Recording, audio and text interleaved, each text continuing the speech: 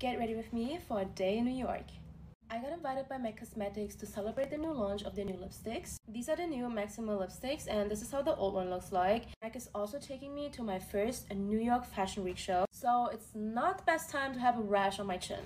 My skin is super dry and irritated right now. That's why I'm using the MAC Studio Radiance Foundation. This one has a serum in it, so it will help my skin stay hydrated the whole day. It's also gonna be a photo shoot and then of course the main MAC event. I heard it's gonna be at a secret location in Chinatown, which is such a coincidence because today is the Lunar New Year. So of course I'm gonna do a red lip today. Already flew in yesterday, but I did pull an all-nighter I was just too excited to go back to New York after two years. I'm a little bit sad because I'm only staying two days, but I'm trying to come back next month. New York is always giving me Gossip Girl vibes and I love that.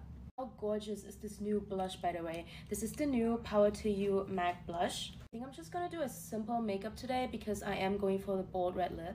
I'm also gonna wear red tights that I've been seeing everywhere. Honestly, I'm so grateful to be able to be here with MAC because as a little girl, I always dreamed about working with MAC and now traveling the world with them is just a dream come true. I'm lining my lips with the Ruby Woo lip liner first. I love this lip liner, it glides on so smooth.